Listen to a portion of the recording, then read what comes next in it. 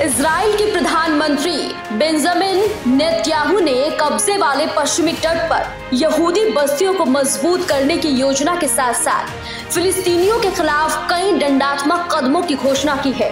उन्होंने गोलाबारी की दो घटनाओं में सात इसराइलों के मारे जाने और पाँच अन्य के घायल होने के बाद ये कदम उठाया। नेतन्याहू ने इजरायली नागरिकों के लिए बंदूक परमिट में तेज़ी लाने और अवैध हथियार इकट्ठा करने के प्रयासों को आगे बढ़ाने का वादा किया है।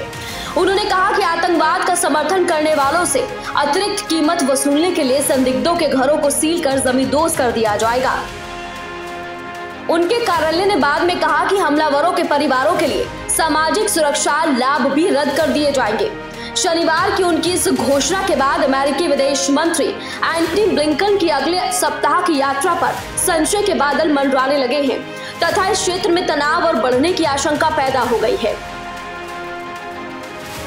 जनवरी 2023 हाल के वर्षों में पश्चिमी तट और पूर्वी यरूशलेम में सबसे खूनी महीनों में से एक रहा।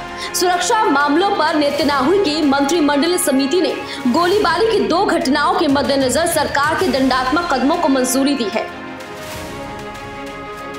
इनमें से एक हमला शुक्रवार रात को हुआ था, जब पूर्वी यरूशलेम के एक उपासना स्थल के बाहर गोलीबारी में सात लोगों की जान चली गई थी।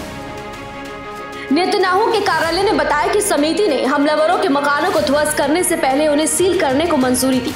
सरकार ने हमलावरों के परिवारों को हासिल सामाजिक सुरक्षा और स्वास्थ्य लाभ रद्द करने इसराइलों के लिए हथियार प्राप्त करने की प्रक्रिया को आसान बनाने तथा अवैध हथियारों को जब्त करने के प्रयासों में तेज़ी लाने की भी योजना बनाई है।